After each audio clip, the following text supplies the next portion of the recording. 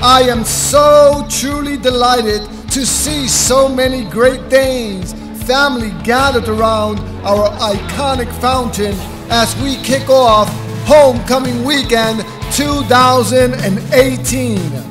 This homecoming weekend is extra special because this weekend we also kick off the public phase of the University at Albany's largest ever fundraising campaign.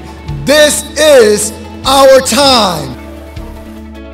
This is our weekend to celebrate. Celebrate our history, celebrate our achievements, and celebrate our future.